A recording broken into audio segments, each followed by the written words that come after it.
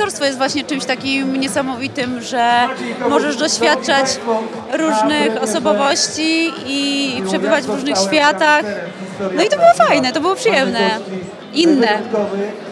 A czy może byłaś kiedyś podrywana przez jakiegoś gangstera? Nie, nigdy nie miałam tego typu doświadczeń. A myślisz, że sprawdziłabyś się w roli y, kobiety gangstera? W sensie w reelu. Nie, nie za dużo stresów.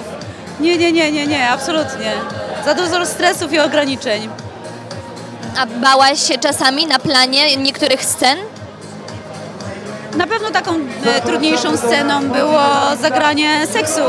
To była bardzo wymagająca scena, jeszcze grałam ją e, pierwszego dnia na planie, więc jeszcze z moim partnerem się dobrze nie znaliśmy, ale bardzo mi w tym pomógł. E, pomógł mi w tym, żeby jakoś tak przetrwać to i zrobić to najlepiej jak potrafię i bardzo mu za to dziękuję. Zdradzisz może jakieś szczegóły tej sceny? Zapraszam do kin.